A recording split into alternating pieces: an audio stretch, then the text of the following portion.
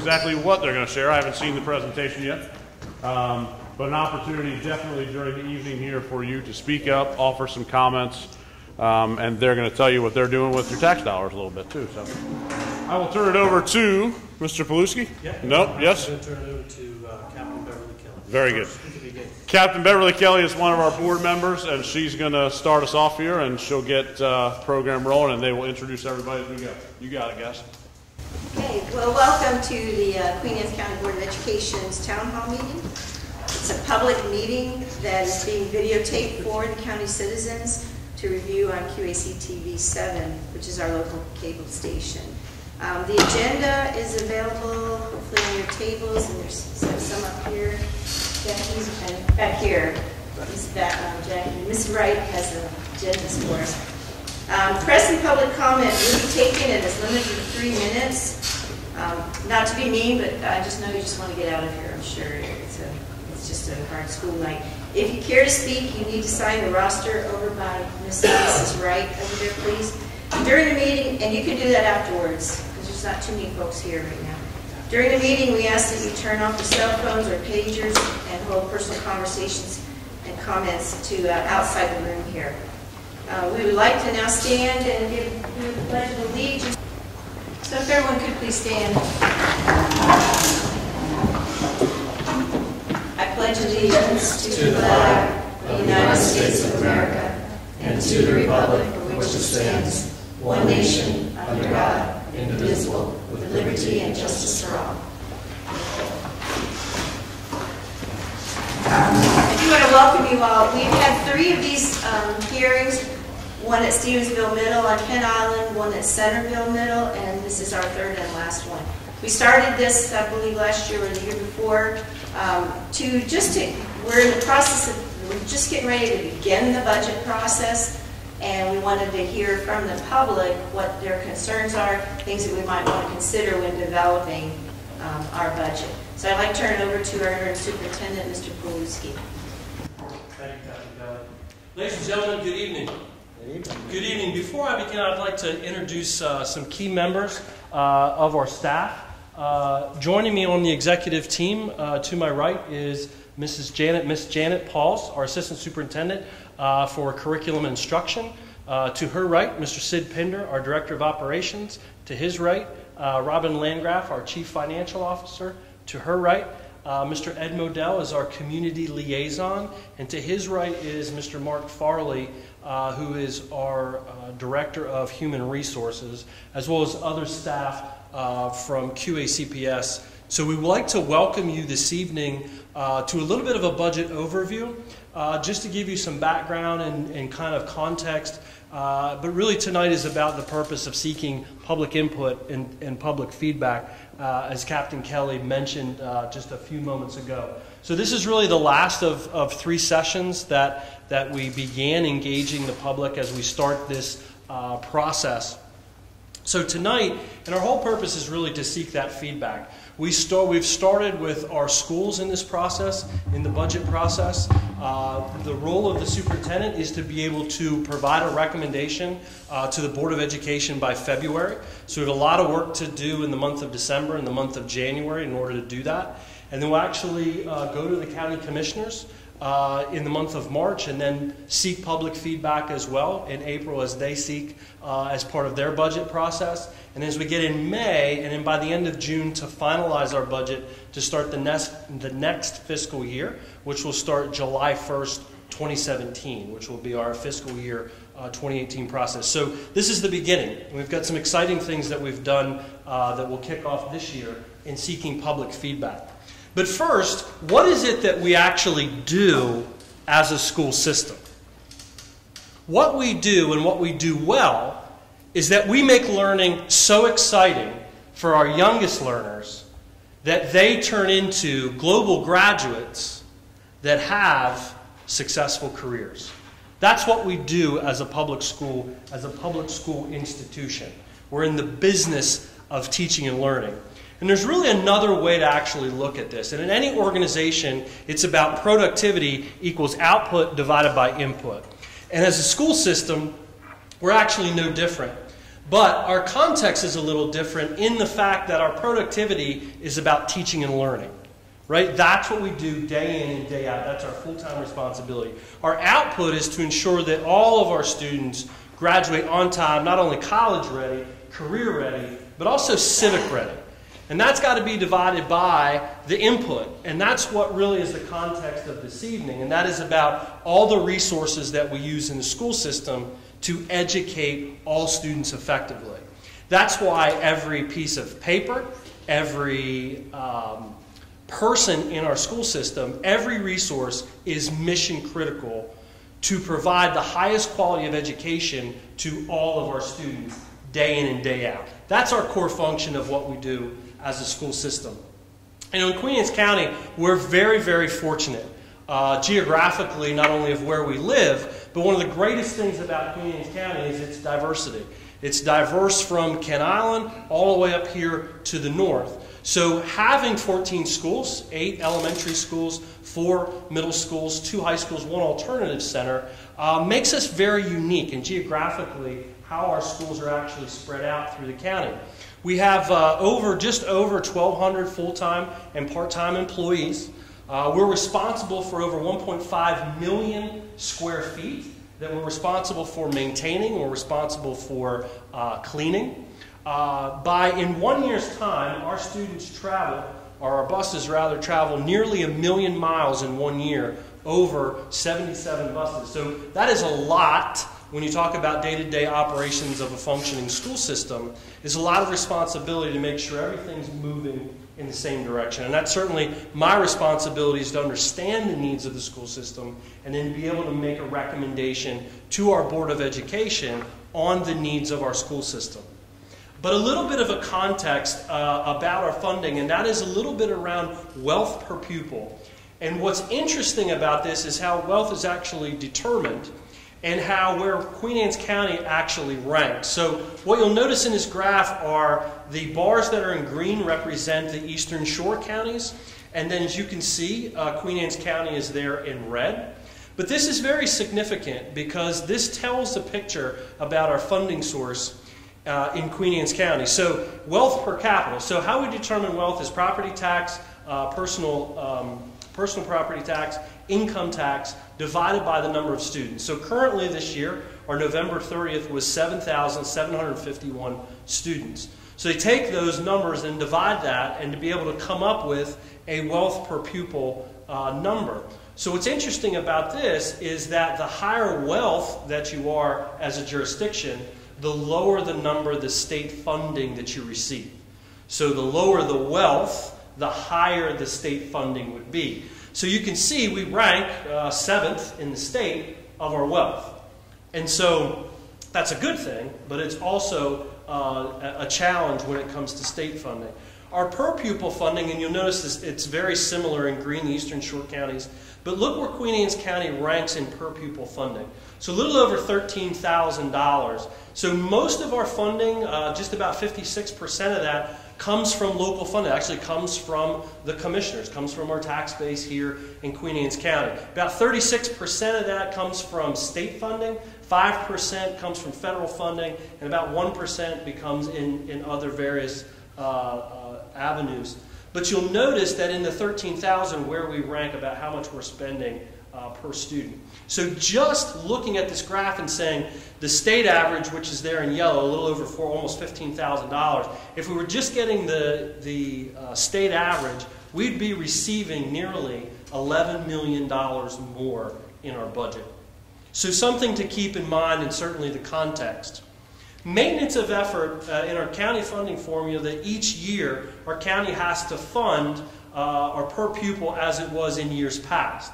So as we look at our current enrollment of 7,751 students, one of the things that's unique about that is that in the state funding formula, you, you can't uh, add the students that are in pre-K. So we have around 229 students that are in pre-K. So in our local funding, you can see that that's a little over $7,000 per student. But we still have those 229 pre-kindergarten students that we're responsible for educating. So if we would receive that funding, it would be another $2 million that we receive. We don't receive that, but we still have to educate the children that come to us. So that's a very important little part of the context of really understanding a little bit of the big picture. Uh, now, as we start to kind of drill down, where do we spend our money? Well, in any organization, the largest portion of where you spend your dollars is in people. And that's no different in a school system as well. As you can see that nearly a little over 60% of that is spent in people and in benefits. So when you look at almost about 86% of what we spend is really in people. And then when you get into really contracts is the next largest one. So when we look at transportation and special education needs, just getting students to school and from school makes up a larger portion of our budget. If we drill that down just a little bit further and actually look at where we spend it, not only, which breaks it down to administration, which is the top level administration, uh, but the primary driver of that is in, in any school system or your teaching force. So with that is also the supports that have to be wraparound support services to students. So we spend nearly about 90% of our budget on getting kids to school, educating them with a high quality teacher, supporting them with wraparound services, and getting them back home safely each and every day is the bulk of where we spend our money. So that's important to understand in that the majority of our funds goes directly to children and supporting children on a daily basis. We've had a lot of factors in Queen Anne's County that have led to our success.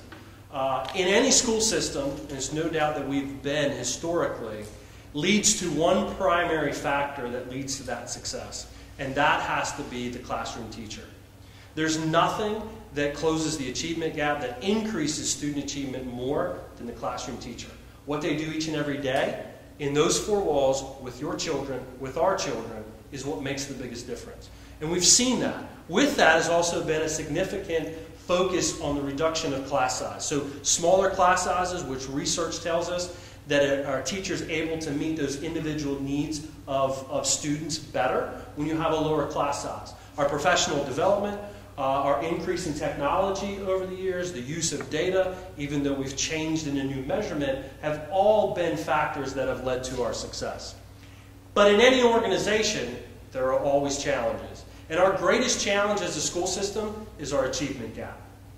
We, we still have disparities among African American students, uh, students of poverty, our English language learners, um, our special education students, where we've seen some significant gaps. And that has to be our main focus as a school system.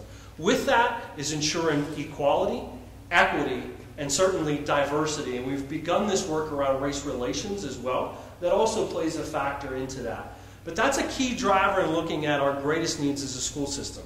This past spring, we had a curriculum management audit that looked at five areas of our school system, looked at governance and leadership, looked at our curriculum, looked at equity, how well kids are moving into our system, uh, to how well they're graduating. Uh, it's actually looking at our assessment system, and actually looked at our budget system as well. How well are we using the resources that we have to our bottom line of increasing student achievement. So that's gave, that's gave us a lot of great insight into our needs as an organization. But when we talk about the achievement gap, you have to target where it starts, and that is early learning and school readiness. What we found is our achievement gap starts in the middle of pre-kindergarten. We know, our data tells us that nearly 50% of our students that enter kindergarten aren't ready to do kindergarten level work. 100% of our students that come from Head Start aren't ready to do kindergarten level work. Although we're, we're entering into our third year of our PARCC assessment, which is new, our recent results tell us that 60% of our students by the end of grade three aren't ready to read on that level. 50% of our students in grade three aren't ready to do mathematics at that level. So what that tells us is we have to have a focus on early learning, and that is a big significant need for us as an organization, as a school system. Our dual credit programs, as, as students articulate into higher education, into their careers, we see that as a need as well. We also see a high need of our collective bargaining, uh, our employees as well, and our agreements, and certainly our capital requests. We talked about our 1.5 million square feet that we're responsible for, so it's important that we keep, keep up with the maintenance uh, of our organization to keep it in a very healthy learning environment. What we've spent a lot of time in the last year is really aligning our organization to our strategic plan. And that's about increasing the academic excellence, focusing on safe and uh, secure schools, uh, high quality workforce, and organizational effectiveness. And with that, this year we've launched our QACPS Innovation Center, which is really our response to our curriculum management audit.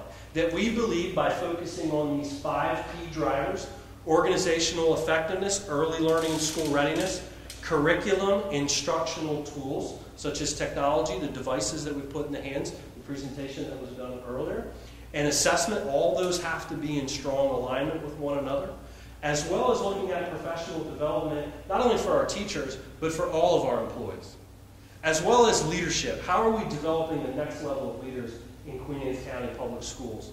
And last but not least is how we monitor progress and performance of our children. How are children doing as they go through the year? How do we need to make adjustments, realignments of resources to meet individual needs? So, how can you help? And tonight we thank you for being here because tonight is an opportunity for you to share and give us feedback. But one of the first things that you can do is certainly lend your support uh, uh, to our county commissioners have been great supporters of our public school system, have met over a million dollars last year over our maintenance of effort. They've been great partners. They've been great supporters of our public school system. Uh, second is to really connect with your local school, with your principal. Uh, help in understanding what the needs of the school, what you think the needs of the school are. Uh, certainly in having conversations with our Board of Education members uh, are all critical elements that you can share uh, your thoughts, your feelings. But if you can't, there's also another avenue, which is the first year. This is the first year we've done a survey. Uh, so folks that can't attend our forums have an opportunity online to take a very quick survey to give us some feedback and insight as to what you think our greatest needs are as an organization, as a school, as a classroom, and as a community. Where can you find more information? Certainly there's a lot of information around our budget, our budget process uh, on our webpage. Uh, you'll see it right there on the right-hand side. Uh, we thank you so much for being here this evening and giving you an opportunity. And at this point, we're going to transition into our public forum. So if you've had an opportunity to uh, sign up, we're going to call your name. You can come up, and then you'll have three minutes to express uh, your needs, interests, or concerns as we relate to building the, our fiscal year 18 budget. I thank you for coming out tonight, and I look forward to listening to your ideas. Thank you. First one on our list is Karen Fields. I call her stay here. You come on. Stay Well, Thank you for the opportunity. I'm Karen Fields. I'm president of Queen Anne's County Education Association. And I would just like to stress that when we work on the budget, that educators and support staff are a priority and that they remain a priority, that we look forward to beginning the negotiation process, and we hope that it's brief and productive. And uh, Mr. Pilewski was talking about the importance of um, classroom teachers, and I would like to emphasize that um, when it comes to adding personnel, please consider um, how that affects the classroom first. I can give you an example in my own school. Um, I teach at Centreville Middle School. We have pure teams almost throughout the school except for one grade level. It makes a huge difference if you teach in content and if all the teachers teach the same students in the grade level because that way you've really wrapped around the student and they are your focus. And just like we say to our students, collaboration is the best way, and that's true with teachers and their teaching. So um, I just wanted to share that. I appreciate the time and I look forward to starting our negotiations and that we continue as a united front um, when we meet the commissioners.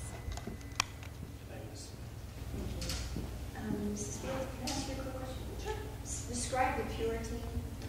Um, the way that it works in my school, you have, um, one side teaches all the subjects, then you have the other side that teaches all the subjects. But for our particular sixth grade, there's some teachers that have to teach out of content, so it's not great for them, and then you don't always have the same students. Um, so you're not always talking about those students. If you all teach the same students, then they are your priority. And what's great about that is you might know something in fifth period that works for this child that you can share with the teacher who's in third period. So it's, it's the best part of collaboration. We really don't have anyone else on the list, but I really encourage anyone who'd like to come up. You don't have to be on the list to come up. And you don't have to have a written speech either. Okay, please. Sure, Mr. Kenna. My name is Sean Kent. I'm the principal here at Sudlersville Middle School. You guys uh, have a copy of my budget, and I just wanted to say, for the record, um, I recognize that a lot of times big initiatives in the school system take time to phase money-wise the full way in. There's a great program in our school system that started a long time ago when I was at Stevensville called Gateway Technology. Uh, it has computer science, it has engineering, it has all great things that not only give kids those experiences, but also retrains how their minds work to be better, better problem solvers. Um, as I said, it started at Stevensville years ago, expanded to Matapeake and Centreville. You guys have it in my budget requests for uh, us to be the final middle school to get that position. I realize that's a big piece. I understand budget process, and I know that we're talking about a, you know, probably eighty or ninety thousand dollar line on the item to add a teacher for that program. Um, but I'm just here to advocate for the students in my school. Um, I'm not angry that we don't have it. I understand it's one step at a time, but we are the last step, and I hope that you will give very strong consideration to making that last step a complete program here at our school. Thank you.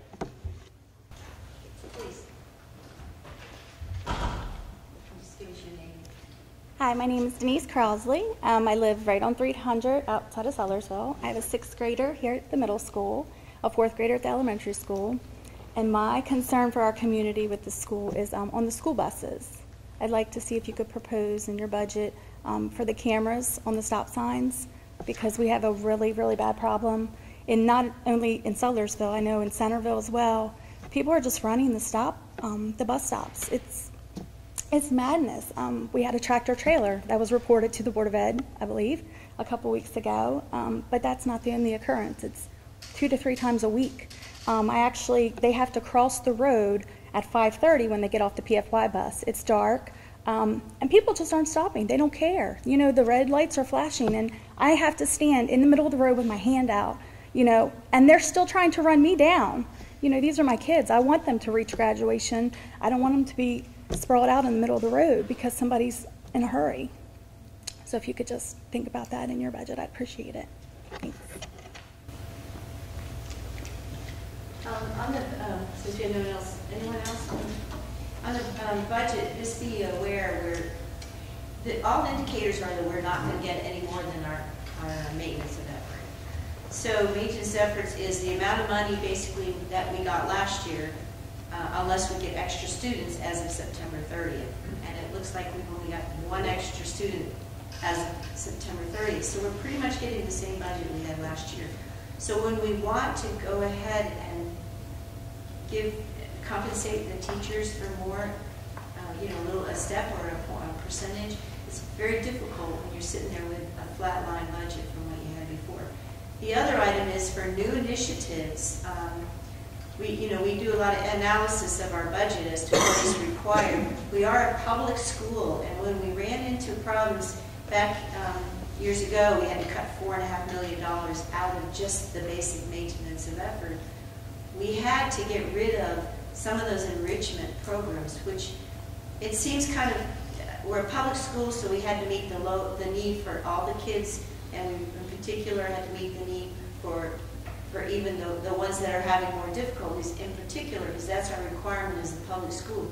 For the high-flying kids that, you know, we had, we have enrichment programs for, um, we had to cut back on those programs. I don't like doing that because those kids deserve as much attention. But I think the philosophy on the public school issue is if they're high flyers, then they should be picked up in other programs and parents should push them to those other programs. The problem with that is another problem is maybe parents can't afford to, to send their kids to these high programs if they're high flyers.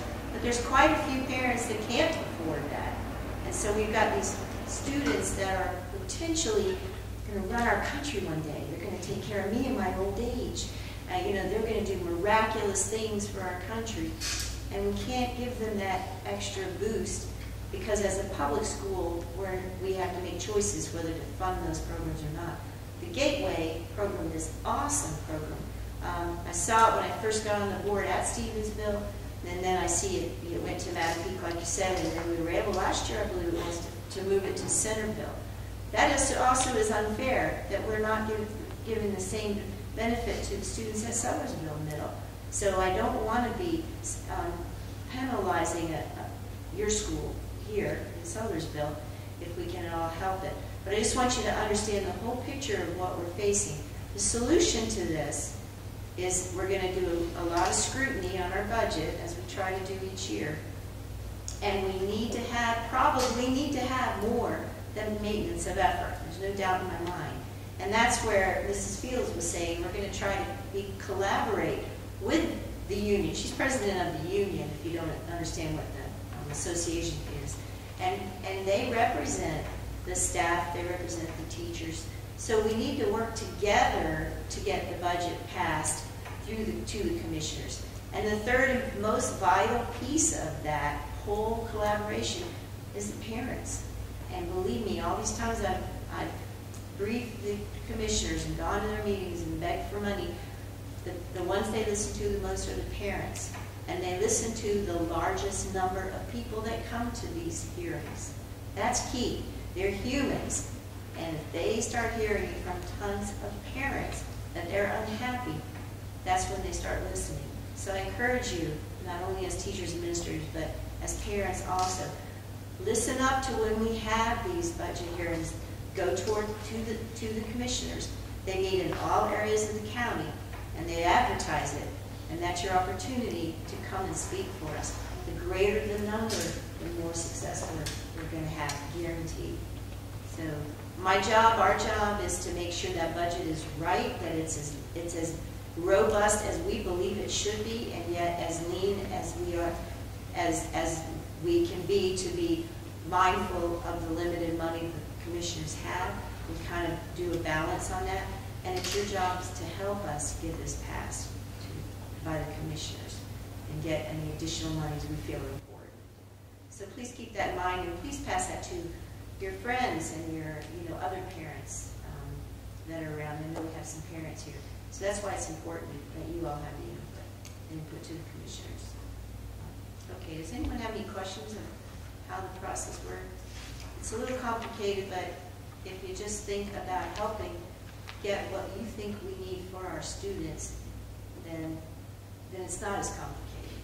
And, and we'll try to make sure you understand what it is we're asking for and why as the board. Okay? Thank you. Okay, I think that's the end of the hearing. If you all would like to come and talk to me after we're off, if you did want to get on the QAC TV, I'll be glad to, to listen to concerns. Thank you. Bye.